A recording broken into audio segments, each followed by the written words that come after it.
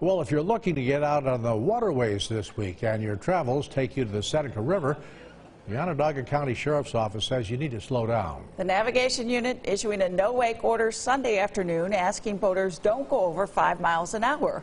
But as News Channel 9's Julia LeBlanc shows us, many people are not following the rules. You got to go slower. Like when you were approaching us at the end, it was a much better speed.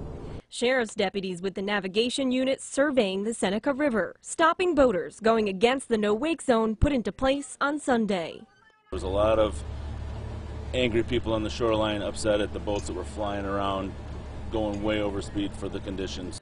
The water is higher, murkier, and moving faster than normal. The debris sitting beneath the surface putting everyone at risk. That's a floating dock, which would normally be down, but it, the water's pushed it right up, and the water's actually behind it up to their steps.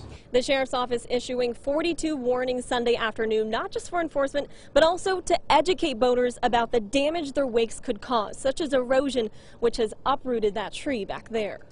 What we're looking for is obviously the smallest possible ripple you can make behind your boat. If I see any waves behind your boat that are white capping or, or folding over, you'll see the white water. You're definitely going too fast. Going slower also means you may catch something in the water before hitting it. But if someone catches you picking up speed and causing damage to their property, They are civilly res- uh, responsible for that. And then if we're out patrolling and we observe infractions, they can be issued citations for that as well. Be respectful, use common sense. You know, you're going to have to plan extra time, go slow, and please just look behind you and watch your wake. because even small boats can cause big problems. But it didn't feel like we were going very fast, and honestly, I didn't look behind us to, to look at the wake. just be careful. Thanks. On the Seneca River, Julia LeBlanc, News Channel 9.